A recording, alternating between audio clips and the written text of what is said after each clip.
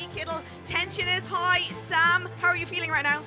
Well, you managed to pronounce my second name beautifully, so good, thanks. Excellent, Jackie. Let's go. You're about to go. Put I'm going to send you off. in the Best water. of luck.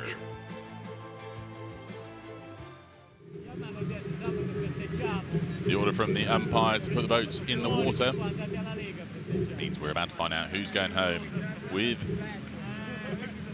the gold medal. Great Britain and New Zealand. New Zealand in lane one. Matthew Dunham, Jackie Kiddle. Jackie Kiddle doing the running here. Great Britain in lane two. Laura McKenzie and Sam Scrimgeour. Sam Scrimgeour starting us off.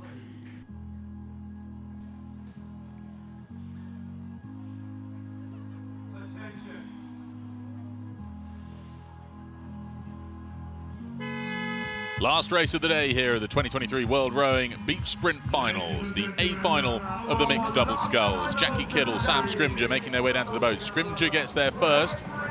Let's see if they're able to turn that into a lead. The Kiwis, fast starters we've seen through the previous rounds, but Great Britain get out ahead, just about half a length to them at the moment. We'll see how the navigation goes. We saw how fast the Kiwis were when it come to when it came to that turning point at the far end. It will be all about the boat speed through this middle segment. Great Britain making the best of that now. They've extended to a length and a half, and they take that aggressive line past the first turning point, clattering it down with their rigger. The Kiwis, they've, they've got the work to do to try and get back on terms. We know, though, how fast Matthew Dunham is when it comes to his finishing sprint, so they've got that in the bank, that, that in the locker to rely on when it comes to the closing stages. Laura McKenzie, though, no slouch. We've seen her in the previous rounds, fast off the water as well as on. Now, though, we're coming up to the turning point in 250 metres away from the beach. We'll see how they get themselves around this. The Kiwis closing in on Great Britain's lead at the moment. It's going to be so important that they get this return leg right for both boats to make sure they don't get bogged down in between two waves. Race ending it can be. Let's see how they take this aggressive line around the turning point. New Zealand a little bit wider than they were last time. Great Britain are around and starting to make their way back. The Kiwis have made up a lot of distance there and they get their stern on the wave for a little bit of a push. So that sees them pull out in front of Great Britain now on this return leg. That's been a huge advantage to them having that big wave there to coast into this return leg. The British, I think, saw that coming. We're going to see what they can do to make amends for it. I think New Zealand now caught between those two waves or just on the wrong side of a big one. Great Britain going quite wide here now. You can see how far off to the top of the screen they've gone. That's going to only increase the distance that Laura McKenzie's going to have to run when she gets onto the shore. Now the Kiwis, you can see this wave behind them. That's going to lift their stern, give them a bit of a push in towards the line. We'll see whether they can take advantage of that all the way in to the buzzer. Gold and silver medals at stake. Both of these crews will go home with a medal. The question is what colour? Great Britain on the wave set, just one ahead. The question's going to be, can Laura McKenzie turn that into a medal with her finishing sprint? She's out early. She's making her way up the beach, but Matthew Dunham is so fast. He's going for it. I think he's going to get there first. Let's see how this turns out. Matthew Dunham gets there ahead of Laura McKenzie. What a finishing sprint. An amazing conclusion there. Dunham just so quick. I think Great Britain just too far off to the side meant that Laura had a longer run to make up the beach. And Dunham getting in closer to their flag meant that they had a shorter distance for the Kiwis. So gold goes to New Zealand and silver to Great Britain. And unbelievably, that's all of the racing done here on day two of the 2023 World Rowing Beach Sprint Finals.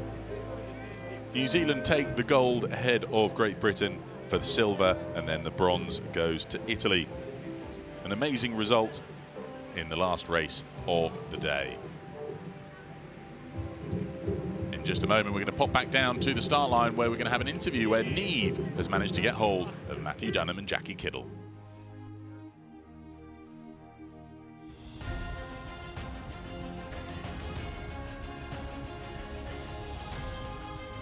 Looking at a replay of that race.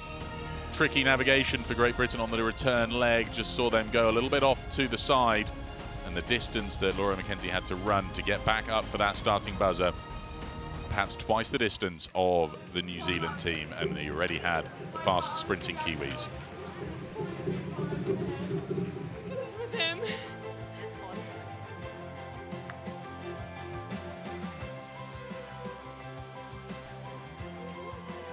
A lot of emotion in the New Zealand We are here combination. with the champions of the mixed double sculls, New Zealand, Jackie Kiddle, Matthew Dunham. Look at the emotion on their faces.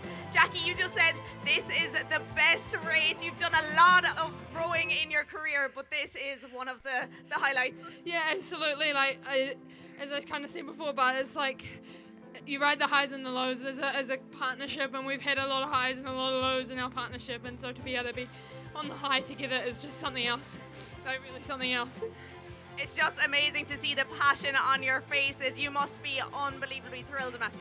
I can't believe it. Like we've, Jackie said it perfectly. Like highs are highs, lows are lows. We've had so many struggles in the sport of rowing, and this sport has just already given so much to us. And to be able to do the mixed double together and be world champions together, it's, it's unbelievable.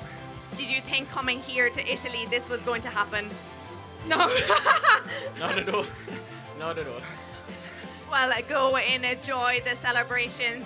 Amazing work. They are world champions, the mixed double New Zealand.